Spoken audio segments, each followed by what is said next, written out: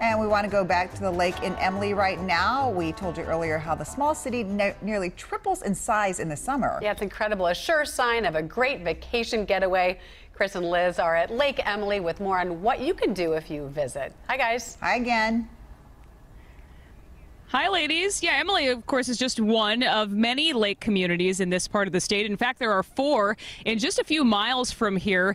And we were really surprised to find out how many talented people live in this part of the state. Yeah, in fact, a recent project just opened up its doors here in Emily, and it's uh, aimed at showing off everything this area has to offer everybody that's represented here is local. This is a way for them to get their product out that they couldn't otherwise do. This is the Landing Welcome Center and Marketplace. It's the dream child of Mary D. Hanson, Jan Mossman, and Cindy Miller. Our goal from the get-go was locally crafted, handmade artisan goods. We didn't want the souvenir gifty stuff, not even necessarily the up north items. We just kind of wanted to be really unique. Unique is exactly what you'll get. The shop opened for business two months ago, but it took a labor of love to get it to where it is today. Personally, it's sort of min sjel, which is Norwegian for my soul, because we're such a part of this community, although seasonal. I wanted to give back in some way, any way that I could. We have photographs of the outside when we first started, and it was just drab and dingy. We're doing this because we love the area and love the community. You certainly get a sense of community when you walk in the door. We have a lot of fun stuff, I think, and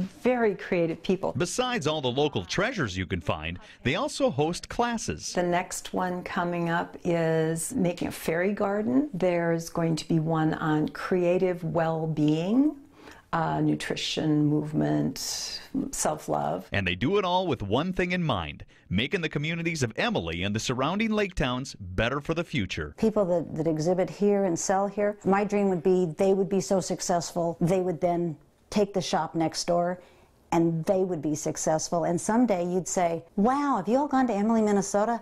That is such a cute town with so many things to do. It, it's really a great place. The landing is open every day from 11 to 5, except for Wednesdays, because that's the day that they host their classes. And if you want to learn more about what's going on at the landing, which is obviously a lot, as we just learned, just head to wcco.com slash links.